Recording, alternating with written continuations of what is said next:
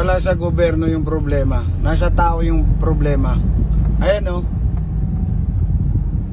Eh, meron ng binigay sa kanila ng linya di, ng mga bike. Dito pa siya dumadaan. Ay naku naman oh. Wala pa rin pagbabago ang Pilipinas. Hindi rin bag- babaguhin ng tao.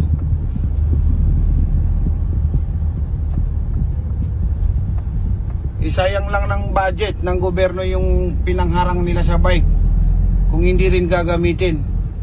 Yan, pag nasagi mo, problema na naman ng sasakyan.